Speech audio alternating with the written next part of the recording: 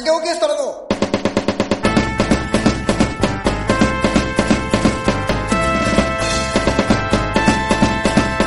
鮭の話。ラジオをお聞きの皆さんこんにちは。こんにちは。こんにちは。鮭オーケストラの鮭の話、えー司会進行の草刈正雄と。米倉涼子です。なんちゃって。えっと今日はですねこれねびっくりしてると思うんですよ。いつもねあの僕のアシスタントはいつも腰もむおっていう男がやってるんですよコシモモさん。うんあ腰もむ仕事やってる人から腰もむはいはいはいなんだけど、えっ、と今日はスペシャルゲストがアシスタントでやってくれてますえー、私鮭オーケストラと米倉涼子です。いやもういいもういいのもういいのよ もう今のはいいのよ あ、丸橋美希です。うんよろしくお願いします。でそうもみもみあこれ腰もむが言うだからみけみけ美希美希。は はい。いでっていうのがなんでかと言いますと今日2月14日で、えー僕らねあの実はねあのこれ言なんか言っていいのかな？あのツアーやってたんですよ。言っていいよ。でそんな全然言っていい。何？公 の情報だよ。やってまして公すぎるよ。今日名古屋が最終日で、はい。はい、それが終わりましたのでもうあの今何時？10時45分10時45分で誰もいない誰もいない。そうまあ、まあこのご時世ですからね、はい。であの打ち上げもやりつつ、はい。えー、とラジオじゃせっかくだから撮ろうということで、はい。なんかもう今なんか俺ちょっと嫌だなと思ったのがここだここの段階でなんかラジオ向きのトークしてるのもなんか寒いなと思ってなんでよ。えということですねみたいなのじゃなくてもうさもうあのなんだどうせ俺らベロベロのくせにさ今ね。本当はね。本当はベロベロのくせになんか「はい私ねあの慣れこなれてますよ」みたいな口調がなんか気持ち悪いなと思ったから もうこっからはもうそうあなたたちもう聞いといて。今日どうだった？今日っていうか今回どうでした？いや今回のツアー本当楽しかったです。あのあのー今回、まあ、全国津々浦々旅してるシャケさんにあの便乗してあの俺ら一緒になめっちゃちゃんとラジオ向けにやってくれてんじゃんちゃんとええラジオじゃないんですか？ラジオラジオこれラジオですよね。いや要もしもしは要は側を知らない人向けのトークっていうテクニックあラジオでもラジオ最初お会いしあったとこだっけ2月の2月合流したのいつどこあ何日のあれです2月の10日ですね10日のあの川西のい居酒屋古谷さんで。兵庫古谷。古谷さんありがとうございました。ありがとうございました、そう。そこでねはいはい。からスタートしたっていう。そうです。うん。あの感想し言ってこ感想言ってこう、うん。まず言わんのかい！誰も。言うよテンポ早い テンポ早い。間を楽しんでいこう。あ のラジオってそういうもそもそもそう。そもそもなんでこのあのツアーができたかっていうとあの全国津々浦々旅してるシャケさんとあジのプシーキングね。ジェプシーキング。シャキさんがジェプシーキングってことにしておきましょう。ジェプシーキングシャキさんがあの三軒茶屋ヘブンスドアであの対バンしたりとかオイラが働いてたりとかでなんかいろいろ話す機会があってでそれでまあ対バンした時ですよね。あのこうこうなんか連れてなんかこう紹介したいところもあるし一緒に行こうよって誘ってくれたんですよ。でそれでだからうん。実はなんですよ。このなんか僕あるあるなんですけどなんかはいはいはいめちゃめちゃ俺と丸橋さんツイッターとか見てくれてるし見たら分かるけど、うん。めちゃめちゃ仲いいでしょ？イエーイ。なんかよく見えててるでしょ？イエーイ。えっと多分ちゃんと喋ったのって34か月前だもん、えっなんだなんなら今回のツアーでこんなになんか喋るようになりましたよね。ていうのが多いのよ俺。あのなんか。正直ねあの今回始まるのにあ一緒に行きましょうって言ったはいいけど本当に決まっちゃったし大丈夫かしら、そもそも俺らなんかコミュ障なんで。いやそれは俺もそうだけどね、うん。そんなのなんかそんなになんかこう間が持つかしらってめっちゃ怖かったですよね。ね。でもなんかだけど楽しかったさ、ですね。俺たちのさ、はい。やっぱ持ち前のさやっぱなんか根垢精神ね。いやねどっちがだよ。真逆だわ。優しい優しい精神キャッキャ精神ね、うん。うん。楽しんでいこうぜっていやまあでも多分それだから誘ったのもあるしね、うんうん。なんかししんどくはならないだろうなっていう。うん。要は同じベクトルでしあの気使う人だっていうのはなんとなく肌感で分かってたから。あの単純に無言っていうのが申し訳ないななんか嫌だって思ったらどうしようとか思う人種なんだよ、はい。なんかなんだったらネガティブなことでなんか怒ってたらどうしようって思い合う人2人だから。だから別にそれはそれであるあるで共通であるからお互い別にそれができるというか基本的にストレスフリーではあるっていうか、うんうんうん。だからこれが生地が図太い人と一緒だとめちゃめちゃ気使ったりとか。逆にね。そうそうそう。別にあのお互いお互い同じ属性の人だから水系とかね。そっちのだから別にそのなん別にあはいはい。ここで気使うポイントあ一緒だねっていうかがあるから、別にそこは俺は個人的には大丈夫だけど。だけど多分ツイッターとか見てる人は本当はええそうなの？お前ら5年ぐらいの付き合いなんだっていうぐらいなんかそれぐらいのね それぐらいのキャッキャのうん。テンションで、うん。ね鹿に餌与えたりとかやりましたよね。そう。面白かったな。面白かった。だしまあふりあれすると本当になんか手前味噌ですけどえーっと僕ら 4, 4日中 3, 3日後一緒にやったのね、はいえー兵庫の川西っていうとこと、はい。神戸はい。と今日の名古屋。はい。全部滑んなかったな。そうですね。あなんかなんか 何すごい。これやめ恥ずかしい。もうなんか J バンこそそれこそみんなみんなバラバラだったけど。全部滑り知らず俺ら。はい。いやそれはねでも お客さんお客さんのなんかうん。そういう修正してお客さんの温かいフィルターもありましたけどまあでもなうわなんかいや例えば俺1日ぐらいは、今日なんか微妙でしたねはあるのは想定じゃん。俺たちってうんうん。うんうんもともと。基本的にはあのあああと丸林美香さんは別としても俺は基本的にあのいやあるおありますよ。俺 VS よろしく一生459敗の人間だから 基本的には負け負めっけちゃ負けっていうのがデフォルトだから、っうん。ていう中であの全部があとり例えばその年間200とか行った時にまあ言っても6割7割はスンとするっていうのが前提としてまあそれはそういう日もあるだろうっていうような。って中でまあまあだからね受けたね。いましたね。ねじゃないんだよ。あの東京でやるよりもなんかなんだかんだよ、なんか良い反応。そうだね。っていうかやっぱりでも温かフィルターですよ。あのあ東京からこの時期に来てくれたからなんかみんななんかっていうフィルターはあったにししてもでもそれフィルターがあってそれで台無しだったらもうもうもう再起不能じゃないですか。それで見たはいいけどめちゃめちゃなんか歌声出てねえとか。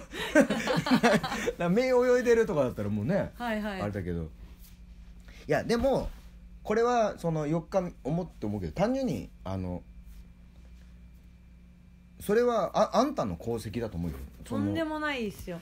だって俺は俺は毎日これをやってんじゃない？それに分かりやすいあんたが乗っかってきたじゃん。っはいはい。てことは俺は日常なんだよこれ。はいはい。で日常で滑ってるっていうか、まあ、滑ってるとは言わないけど別にスンとした日があるっていうことがあった上なのにあんたが乗ってきた全部が受けたってことは要はあんたの力なのよ。そのお分かりやすいけどあんたが呼んできてくれたお客さんの人の良さとか。いやいやいや。全部含めてね、呼んでないんですけどあの、うん。来てくれただけなんですけど、うんでそれで言ったらなんですけどうん。多分ですけど今もうライブいいライブをしたら、いいライブをしたらそれで OK っていう時代っていうのはもう実は終わっていてもうなんか今なんかすごいいいこと多分これいいこと言いますよ。どういうこいやいいライブをしたらそれで OK っていうのは終わってて。とそそこで言ういいライブって何？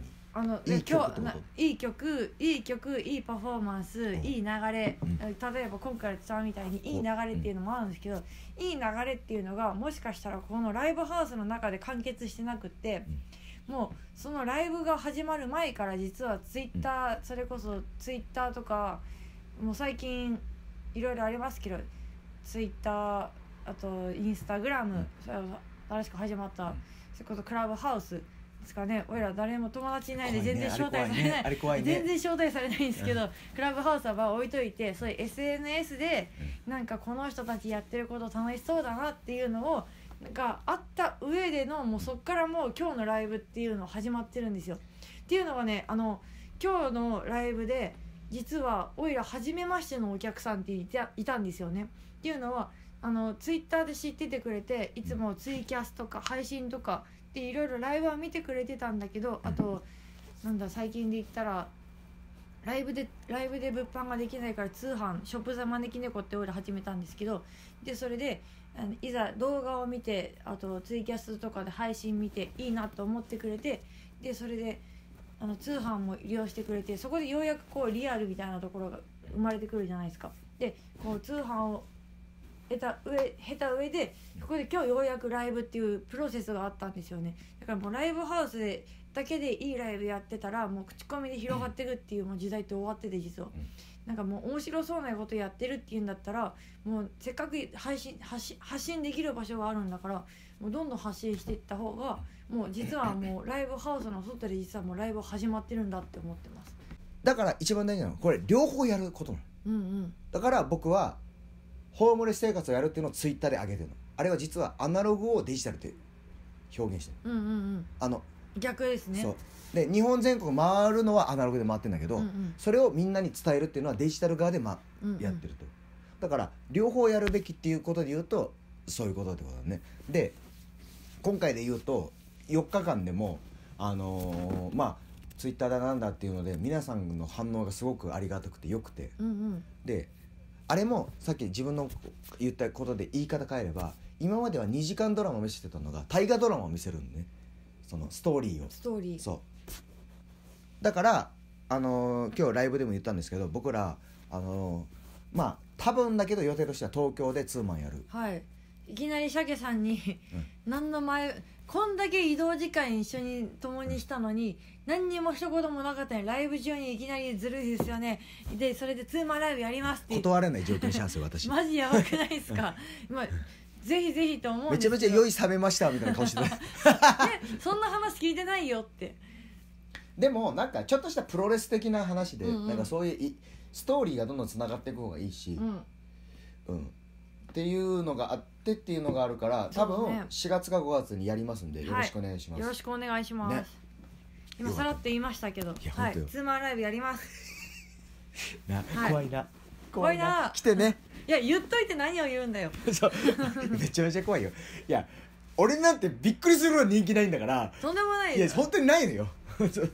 そうだけどまあまあまあ。えシャケさんすごいんですよ。あのな何がすごいってあの知らないところでなんかみんながカバーしてるどんどんね。どんどん知名度上がってますから。衣装とかね。はいはいはい。いやだからもう本当思うよ俺俺ほん僕が死んだらいいんじゃないけど俺が一番いあの不本意なバッドエンドは俺が死んでから売れるパターン一番嫌なんだよゴッホとか。マジ？なんか画画家ってかアーティストなんかなんかそういうのでも満足っていう人世界性の人いるじゃん。あーいだけど嫌だ。絶対俺は俺が生きてる時にチヤホヤされたい。ね死んだや後だやだやだやだやだって。正直死んだ後のことなんて全く分かんないですからね、そうそうよ。で霊がいるとかなんとかってあるけど、ん。でもねね。だでも俺基本的にそのもう死んだら無っていう派なのよ、はいはいはい、うん基本はねあの来世はないと思ってるの。うん衣装で言ってるよね。来世はなくていいよって、うんうん。多分多分ないって思っといた方がいい。のあったらラッキーだから。そうですうん。なんかそれがそれありきで生きてたらなんか何にもなかっまあた時、、まあもちろんね仏教を信じてる方とかはそれをもとにそうやって来世のために徳積んでるっていはい。う信じ方あるから、それを否定する意味ではないんだけど、うんうん。まあ基本的には俺は脳宗教だからまあまあうん。いそれよりも今にちゃんと注いだ方がいいんだろうなっていう。そうですね感じ。その熱量を。うん、っていうのがある。で俺ツイッターでも言ったんだけど実は今回裏タイマーがあったんですよ、はいはいはい、うん。あの見た？ツイッターで、うん。もう今回つぶやいたんですけど実はあのいやこれあめ曲を全部。そう。はいはい俺、はい。あ実は全部あの一個もかぶってないの。うんうんうん。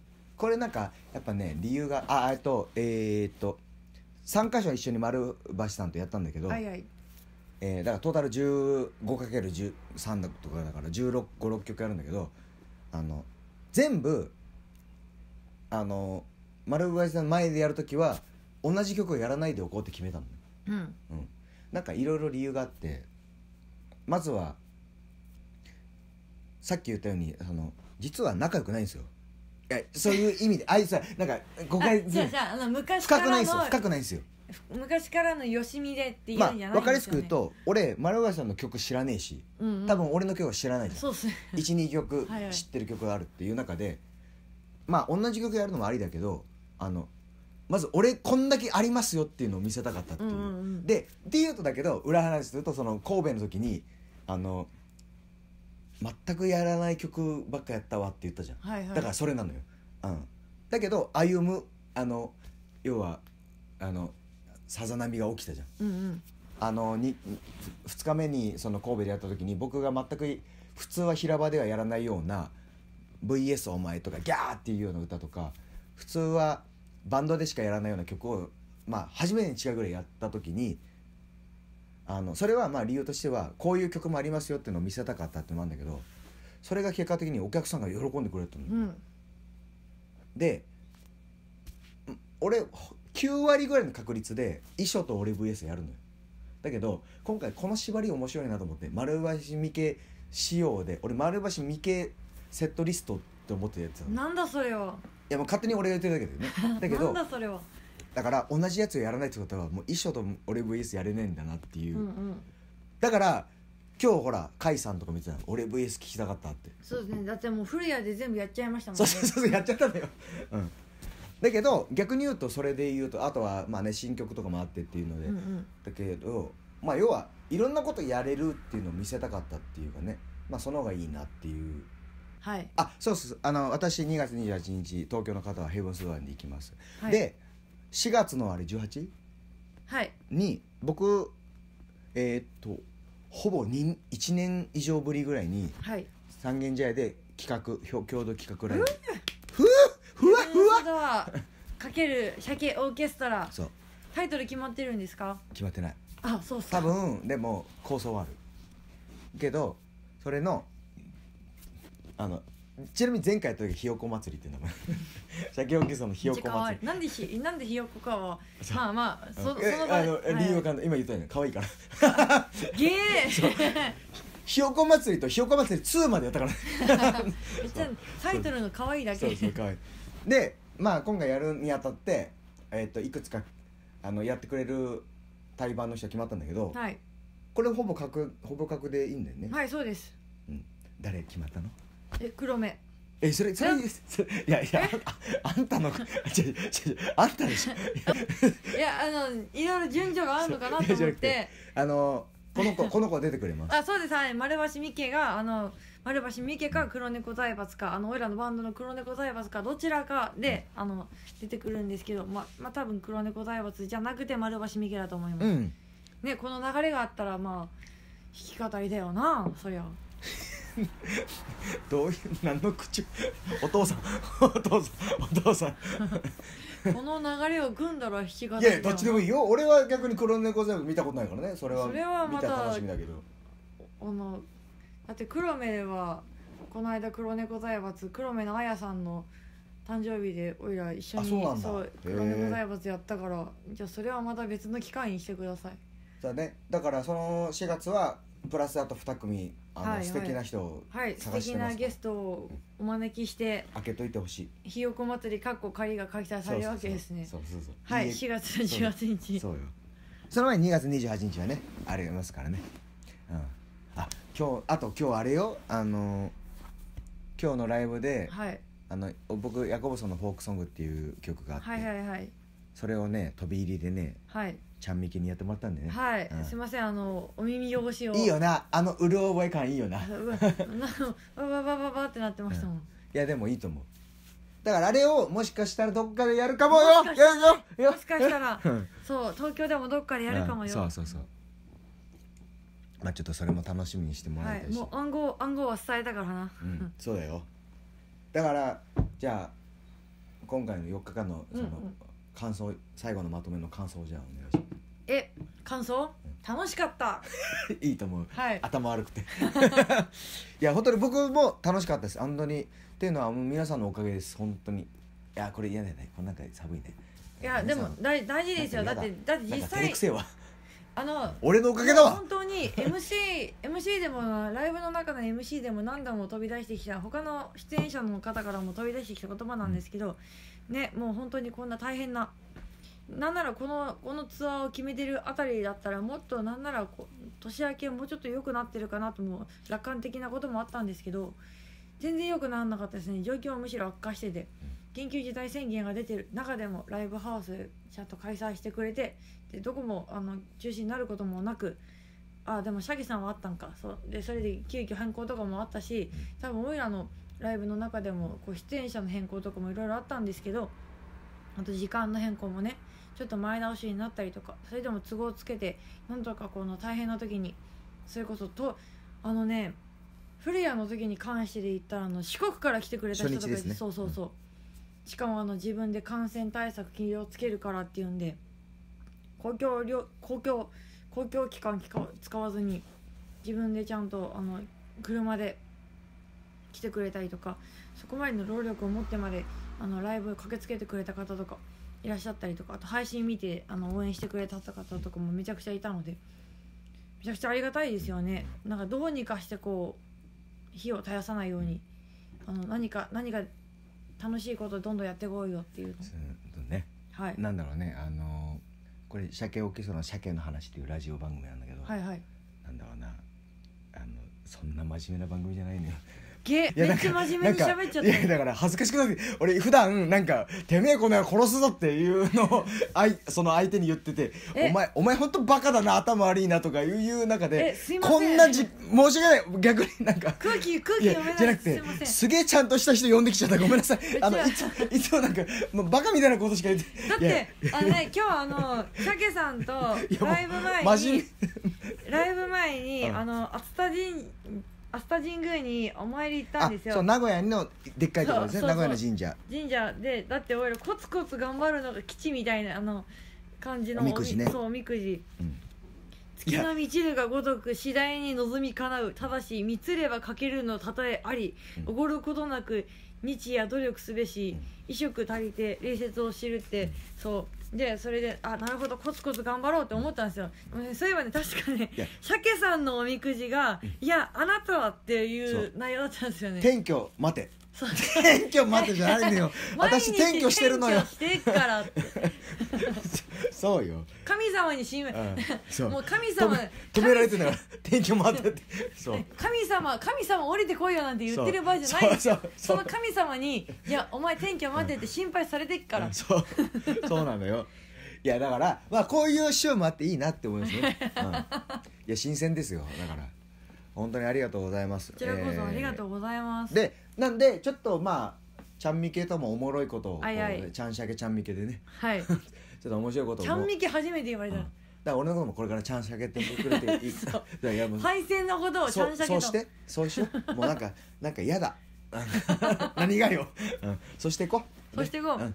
だからそれでやっていきますんであのこれからもあの皆さん応援していただければと思います。はい。はい。でこれねごめんね。あのあんたに言うのもあれだけどいつもそのアシスタントのコシモモに、はい。じゃあ今日の一曲をって言ってはい。おでこれ俺のラジオだからなんか本当に寒いことに俺の曲しか流さないの、はいはい。だから今日の一曲ではい。ちょっとリクエストで俺の曲を知ってる曲で。え何も知らんわっていうことじゃないでしょ？ー、じゃないよ、うん。じゃないよ、うん。何でもいいよ。はい。それではえー、皆さん今週もお聞きいただきましてありがとうございました。真面目なの、はい。ちゃんとラジオをやろうとせいやこれね皆さんあのなんで台無しにするんだよ。ちゃんとちゃんと指名させて。これこれが大事なこれ俺本当に聞いてほしいのが、はいはい俺いつも終わっちゃうから。あアシスタントの,、はいはい。あのコシモムっていう本当にただの素人でいつもやってるの、はい。こんなちゃんとしてないのよ。いつも。嘘。もうダラダラダラダラ。こんな人とやりたいもん俺。嘘。こんなちゃんとやってく俺れる FM 世田谷そう。であのたまにたまにやってる。そういうことね。そうそうなんですよ。いやこんな楽なのないよ。嘘。いつもダラダラダラダラやるから。いやすいまいや初めて番組っぽくなってるもん。すいません。なんかいやすいません。いいよ。それでいいの。逆に面白くいやだから俺なんかもうもう新鮮でもうおあんたに変えたいぐらいよやったアシスタント。ややっったたぜ。仕事増えたぜ。いや仕事でもないねうん。じゃあお願いします。はい。それではえー、あの今週の一曲をお聴きいたいただきたいと思います、えー、今週の一曲は鮭オーケストラで、えー、鮭オーケストラのフォーそっち行クソングはい。くそっち行く。あじゃあじゃあ変えるか。いやでもいいよ全然。えっ、ー、とじゃあ俺 VS あいやでもフォークソングでいこう。じゃあフォークソングで、これ多分初出しなんで。じゃあれじゃあれ。じゃあですいませんけど。あれだはい。ってさっき言った仮歌でしか作ってないのまだ。はいはいえでもあの貴重ですよ、ん。あのヤコブソンではなくて鮭オーケストラそのうライブではやってるんですけど、はい。あの音源では多分聞いたことない。だから、はい。ほらコアな人がいるから。それ取って出しですよ。はいうん本当にもう正面ちびっちゃうと思う じゃあ鮭オーケストラのオーケソングえーでと思います。えー、鮭の話、えー、鮭オーケストラと丸橋美希でした。さよなら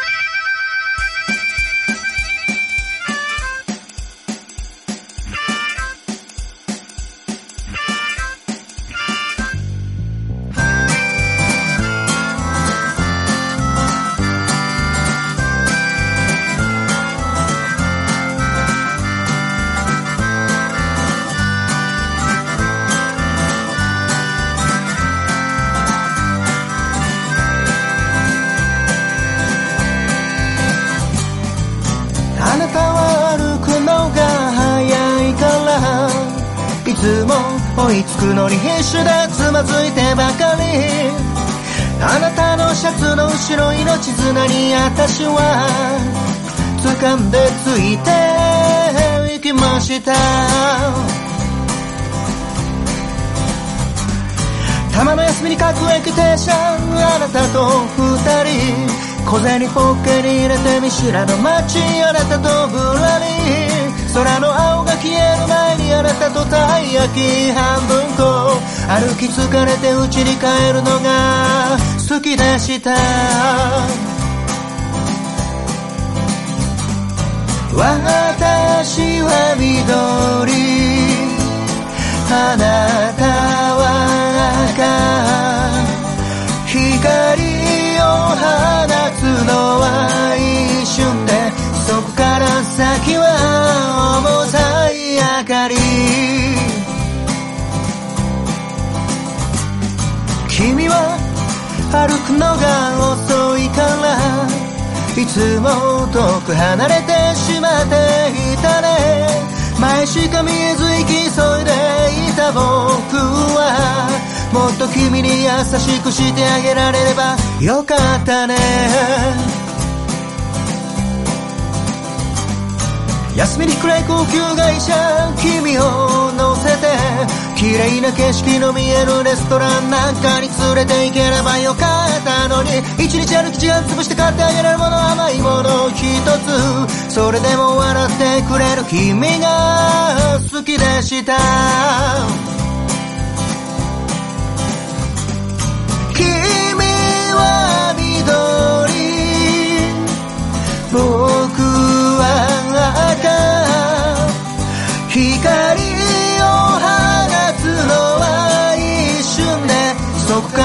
から先は